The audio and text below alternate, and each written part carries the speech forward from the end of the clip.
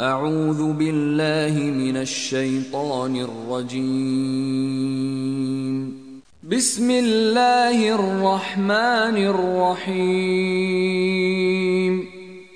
Al-Karia. Was ist Al-Karia? Und was lässt dich wissen, was Al-Karia ist?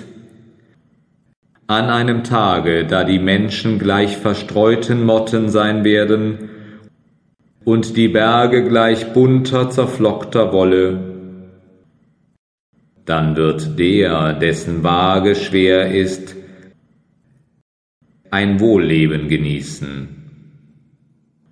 Dem aber, dessen Waage leicht ist, wird Al-Habir sein Endziel sein. Und was lehrt dich wissen, was sie, Al-Habir, ist?